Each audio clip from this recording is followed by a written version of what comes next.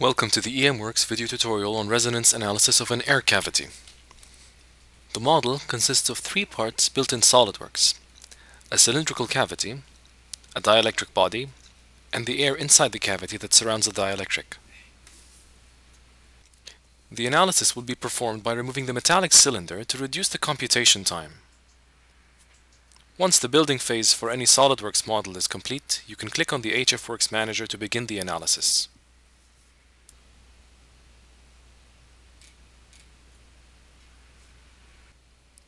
To begin the analysis in the HFWorks Manager, create a new study and select the study type needed. In this case, a resonance analysis is created and the first five modes of the structure are studied. The first step in the pre-processing is to assign the materials to all of the bodies. Properties such as the permittivity and the permeability can be assigned using an expandable library that includes materials provided by HFWorks and others created and saved by the user. These properties can also be reviewed and modified in the study itself. The next step is to assign the boundary conditions from a list of loads and restraints.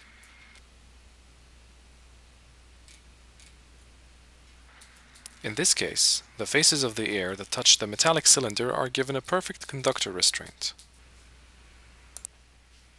In the last step of pre-processing, the finite element mesh must be generated.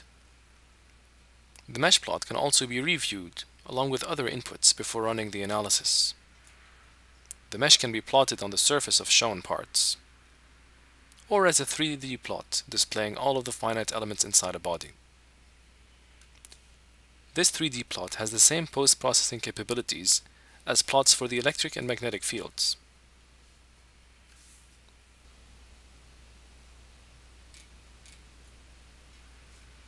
You can review the results produced for the design, which include the frequency of each mode, as well as the quality factors and the stored energy. For each of the modes studied, a 3D plot of the electric field can be viewed in different forms,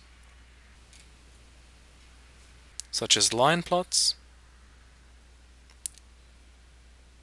vector plots,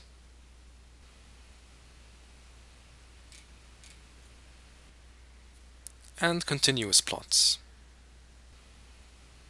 To view the fields inside the structure, a variety of post-processing tools are available. Isosurface clipping can be used to truncate certain parts of the field plot to make the information more relevant. The field plots can also be animated to illustrate the variation of the field with the phase.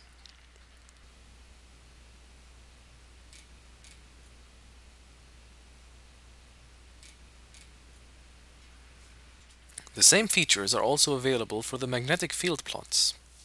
Here, a vector H field plot will be cut using section clipping, which can also be applied on the fringe plots.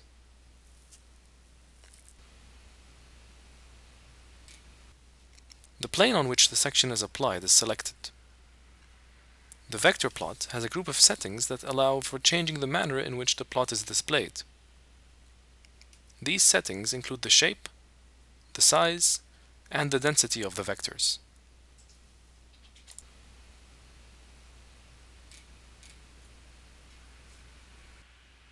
Finally, after all the results needed are generated, a report can be produced to compile the results into a file.